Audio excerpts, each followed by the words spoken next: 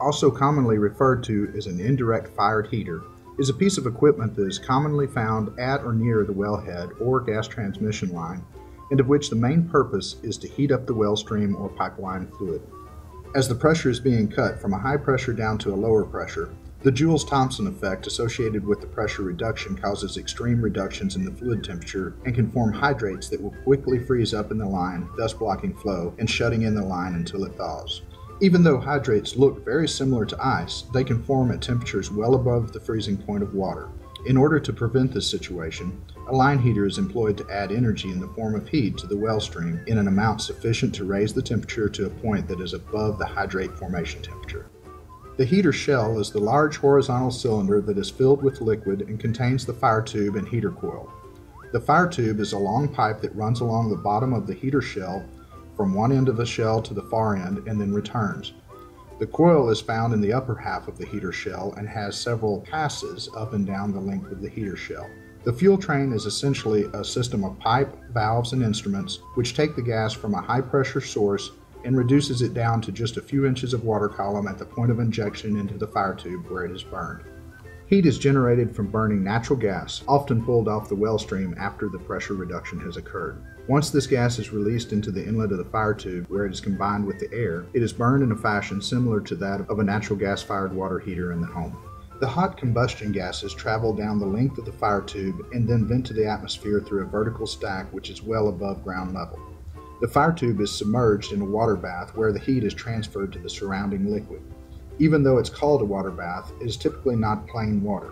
It is usually a mixture of water and antifreeze compounds such as ethylene glycol, or occasionally another media such as oil, and is used to increase the boiling point of the fluid so that a greater rate of heat transfer can be achieved within a given heat transfer area.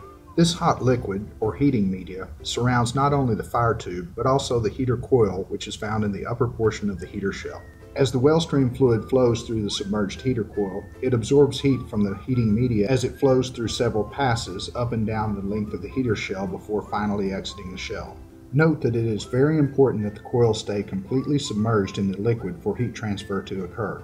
It is common for heater coils to have a choke valve built into the heater coil assembly, sometimes found on the inlet, sometimes on the outlet, and in many cases they may be found in the middle where there is an upstream and a downstream section of the coil, each operating at a different pressure. The placement of the chokes is all about keeping the well stream above hydrate formation temperature while keeping it cool enough to provide efficient heat transfer. Since a line heater is a relatively simple piece of equipment, there's little in the way of controls. The only primary control requirement is to control the temperature of the water bath to maintain the heating media temperature. The temperature controller is a simple device that passes instrument gas to a fail-closed temperature control valve. When the temperature is above the set point, the temperature controller closes off the gas supply to the temperature control valve and vents the signal line supplying the temperature control valve, thus causing the valve to close and stopping the fuel supply to the burner. When the temperature falls below the set point, the temperature controller supplies instrument gas to the temperature control valve, which then opens and sends fuel into the burner where the pilot flame reignites the gas and combustion starts again. The heater shell must always be able to breathe as the heating media heats and cools. This is often in the form of a pressure slash vacuum relief device which allows the unit to vent and ensures the tank will not become over or under pressurized. There should always be a flame arrestor on the inlet to the fire tube, and its purpose is to keep the fire tube from flashing back onto the operator as he starts the unit up or is operating in close proximity to the fire tube end. The fuel train must have adequate pressure relief, and it's a best practice to include a fuel gas scrubber, often called a drip pot, to ensure that no condensate created from the cooling effect of pressure reduction makes it to the fire tube where it could cause unstable burning, backfiring, or could even possibly catch the unit on fire. A line heater in its most basic form is a very simple piece of equipment. However, improper use or operation can lead to various failures. One failure is when the temperature control valve hangs open and causes the unit to add full heat and subsequently boils off the heating media, ultimately catching fire when the media boils down to the point that the fire tube is no longer submerged. There are other failures that may occur, such as failed pressure control regulators on the fuel train and the like, and that might cause the unit to go offline. But these failures rarely cause any sort of catastrophic or long term issue.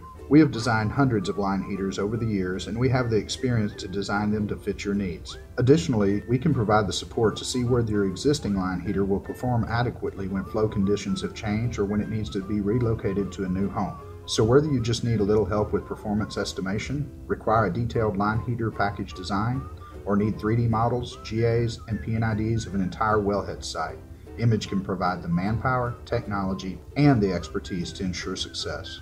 Thank you for watching. Come visit us on the web at image-ces.com, email us at info at image-ces.com, or give us a call at 281 829 4101.